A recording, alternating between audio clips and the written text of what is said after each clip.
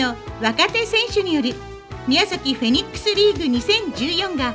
10月6日から開幕。この日天福球場では広島カープと日本ハムの試合開始前に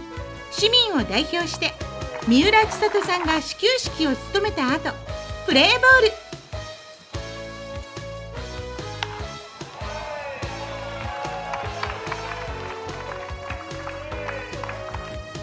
2014年ファーム成績広島のウエスタンリーグの順位は104試合中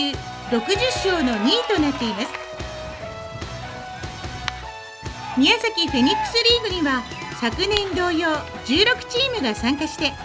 144試合が10月27日月曜日まで宮崎県内で行われ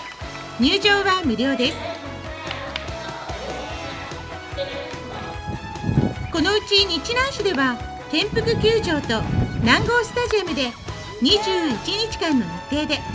全34試合が予定されています。